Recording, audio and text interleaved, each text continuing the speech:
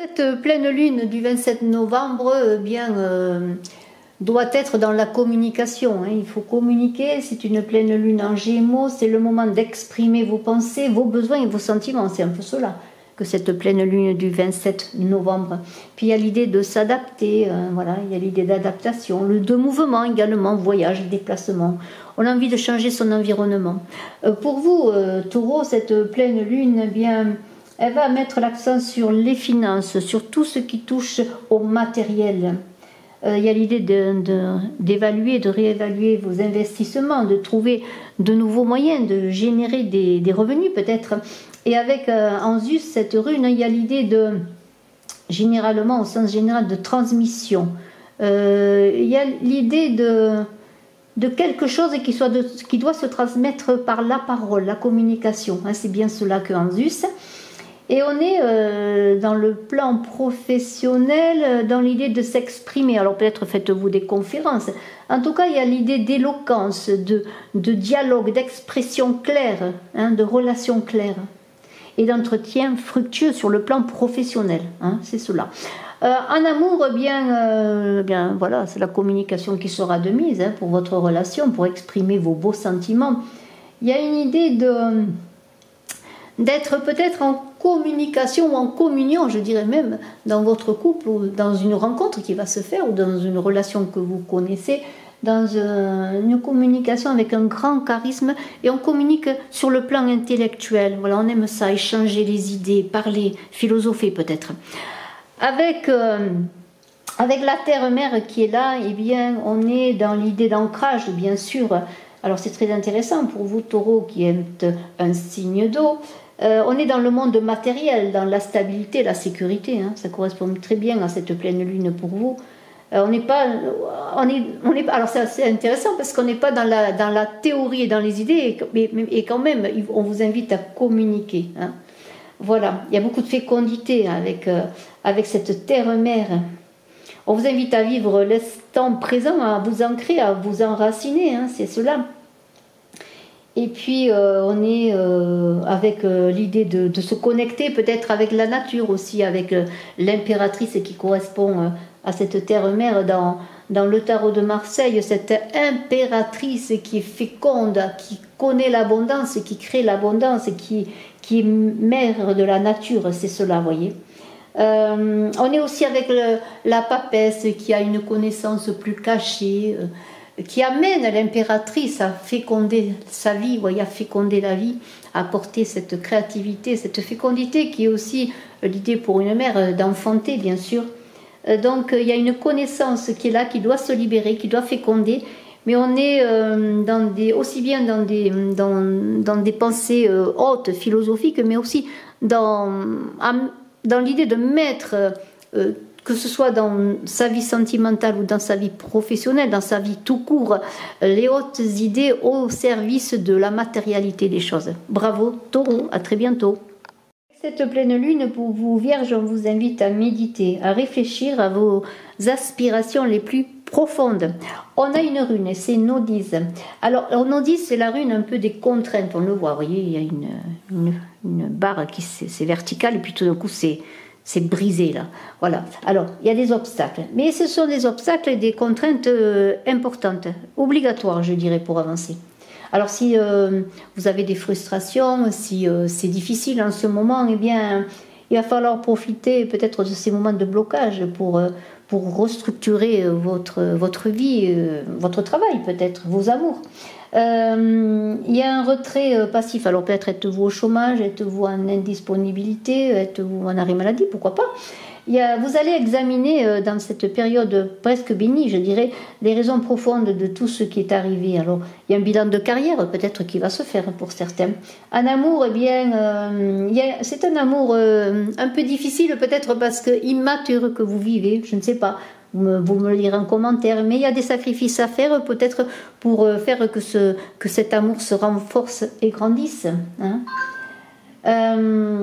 Voilà, c'est une période en tout cas propice au retrait, euh, à la retraite, malgré que ce soit une pleine lune où on vous invite à bouger et à communiquer. En tout cas, avec l'arbre, il y a une idée de croissance, bien sûr, d'enracinement. Hein, l'arbre, c'est cela.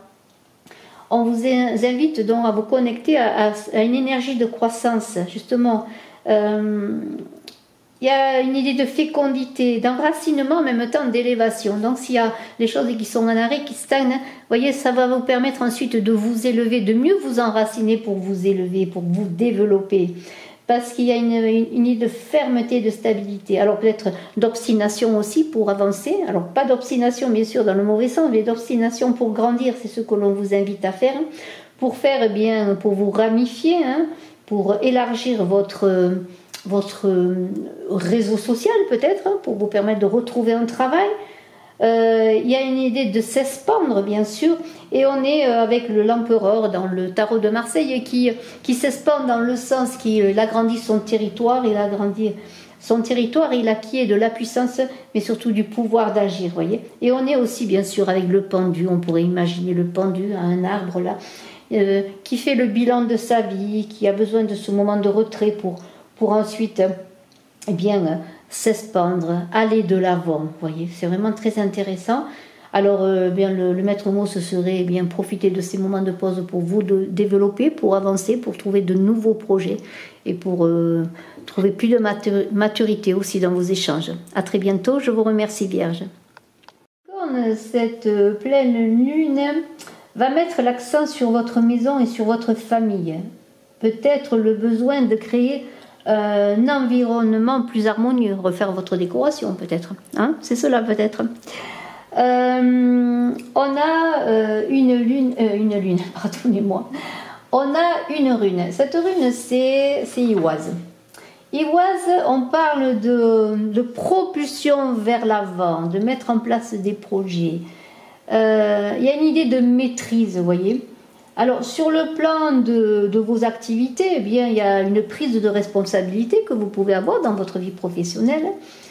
Expandre votre réseau social, pourquoi pas commercial, hein, social et commercial, tout cela est lié. Il y a l'idée de croissance, croissance économique, croissance financière, finance positive, je pourrais dire. En tout cas, il y a un grand pas en avant qui, qui, qui, est là, qui vous est donné. Hein. il y a une impulsion. Euh, en amour, eh bien, euh, vous allez baser votre histoire sentimentale sur de nouvelles valeurs. Il y a euh, des échanges amoureux qui vont ouvrir un nouveau cycle, de nouvelles perspectives pour aller avec l'autre, voyez, pour aller vers quelque chose de nouveau. vous aurez besoin d'échanges affectifs, voilà, de, rencontres sentimentales, de douceur, mais aussi de choses qui avancent vite. Hein. Vous ne voulez pas que les choses traînent en amour. Euh, voilà, alors il y a une, idée de d'avancée, de, voyage, de pèlerinage, hein, euh, d'initiation. Il y a quelque chose qui va s'engager de l'ordre initiatique, que je pourrais dire. Et on a avec, euh, avec Laura qui est là, regardez le glyphe, a un grand triangle, triangle et un petit triangle. Hein. c'est un peu comme l'idée de de l'univers qui s'étend en dehors euh, des limites, euh, de nos limites. Voilà. Euh, c'est un peu notre aura qui, doit s'exprimer à l'extérieur de nous. Hein. on vous invite à, irradier, à colorer votre vie et colorer celle des autres de belles couleurs justement, à vous déployer. Hein. Il y a une idée de magnétisme, vous allez attirer, hein, vous allez attirer, vous allez être attiré aussi peut-être par beaucoup de choses. Euh, vous avez envie de vous montrer sous votre meilleur jour, euh, dans vos vêtements, dans votre allure. Vous avez envie simplement d'être bien, hein, d'être bien.